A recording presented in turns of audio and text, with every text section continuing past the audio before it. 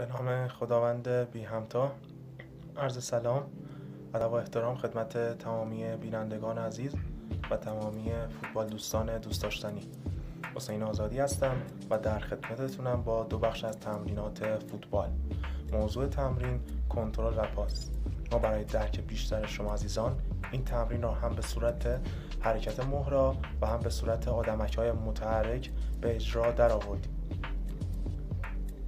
قابل ذکر در این تمرین به این صورت می باشد که تمامی فوتبال آموزان قبل از رسیدن پاس و زمان ارسال پاس در آمادگی کامل باشند و به مانند تمامی تمرینات پاس و جابجایی در این تمرین نیز دقت، شدت، زمان ارسال پاس، زاویه ارسال پاس و زاویه بدن فوتبال آموزان و زمان حرکت به همراه سرعت حرکت فوتبال آموزان از اهمیت بسزایی برخوردار است.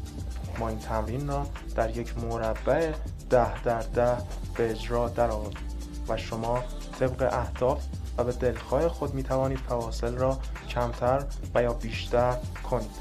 این تمرین ویژه تمامی رده های پایه تا بزرگسال می باشد این تمرین به عنوان گرم کردن تخصصی و تمرین مقدماتی کارهای تاکتیکی می تواند کمک کننده و مفید باشد.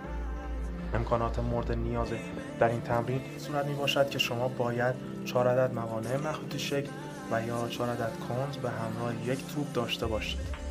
تعداد بازیکنان در هر یک از سازمان ها 5 نفر می باشد که شما به دلخواه می توانید آنها را افزایش دهید. امیدوارم این برنامه تمرینی کمک کننده باشد و شما عزیزان از آن لذت برده باشید. طراح تمرین حسین آزادی. قدم های ما به سمت فوتبال برداشته می شود